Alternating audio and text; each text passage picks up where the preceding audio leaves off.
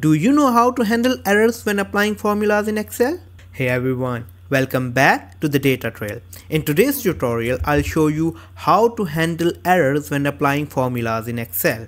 So let's get started. Here we have revenue and unit price and we want to find out how many units were sold to achieve this revenue. The formula is very simple.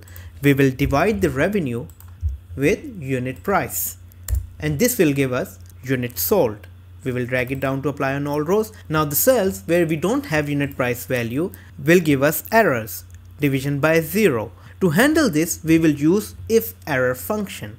So instead of directly dividing revenue with unit price, we will apply formula if error bracket start and within these brackets we will divide revenue with unit price and comma. After the comma, the second argument is what we want to return in case there is an error. So let's return 0, bracket close, enter.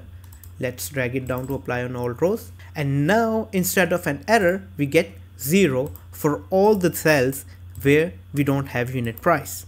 Now instead of 0, we can also change it to an empty cell or any other value that we want this formula to return when it encounters any error. So let's try with empty cell. Let's drag it down to apply on all rows. Now instead of 0 we get an empty cell where we don't have any unit price. That's it for today's tutorial. If you found this video helpful, give it a like and follow the data trail for more Excel tips and tutorials.